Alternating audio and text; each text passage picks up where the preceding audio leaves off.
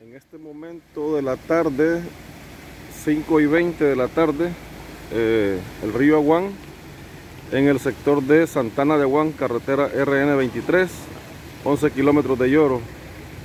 Podemos ver de que el nivel ha subido considerado.